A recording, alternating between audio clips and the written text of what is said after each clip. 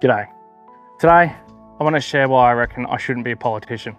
But to champion the enduring principles of freedom and integrity, I might just have to become one. I'm Jack Carmody, or Jack Out the Back on YouTube. I'm pretty passionate about preserving Australia's rich farming heritage and advocating for the rights and livelihoods of our rural communities. You see, I'm not part of the populist politics that seems to dominate today. I question why politicians make decisions that hurt Australia and more so hurt Australians. It's clear that we no longer have leadership.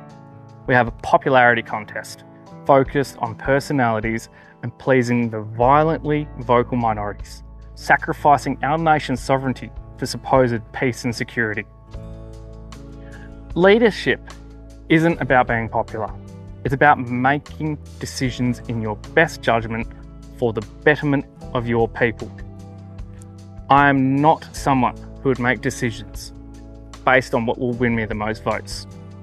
I'm not interested in four year vote grabbing policies that are designed to keep politicians in a career.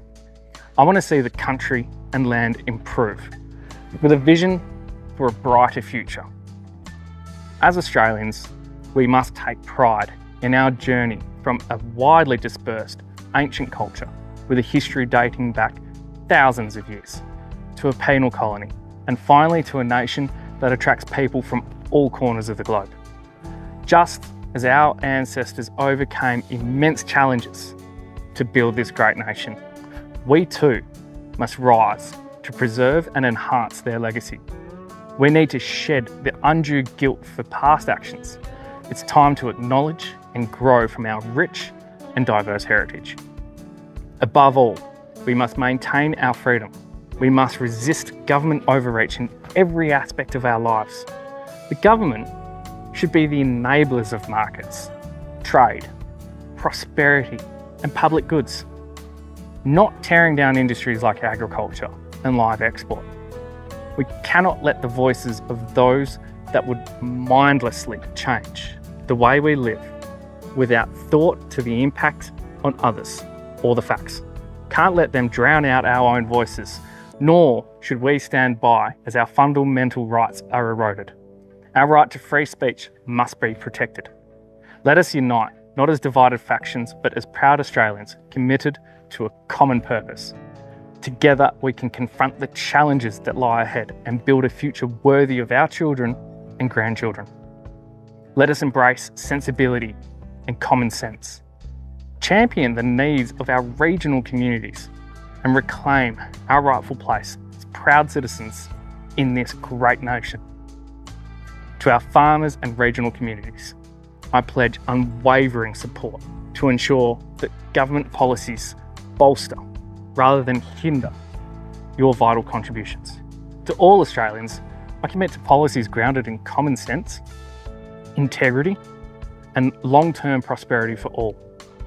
If I were to go down the line of politics, I would be making sacrifices for our country's future.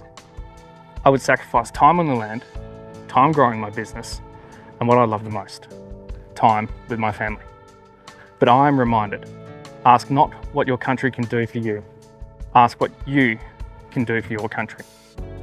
In our hands rests the future. Let us harness our collective strength, determination, and resilience to forge a path towards a brighter, more prosperous Australia. There is power in minority parties in politics. The strength presents itself in the diversity of ideas and backgrounds. There is the possibility that we can have a minor coalition party in charge of the direction of Western Australia. We're listening to you. We want to grow. Now, sensible people with normal common sense and family values who respect the growth and development of our nation without unnecessary government interference are who we should stand with. Now, there are many more reasons why I shouldn't be a politician, but perhaps, just perhaps, those are the very reasons why I might have to stand up and help grow our country into something we can be proud to give to our children in the future. Thank you again for joining the fight. We are united by a common cause to support our farmers, protect our livelihoods, and stand up for rural communities. We are here to voice our strong support for the Keep the Sheep campaign. There is an old quote I'd like you to leave with today, in the knowledge that it has been proven time and time again. If the city dies, the country we will build it. If the country dies, grass will grow on the city streets.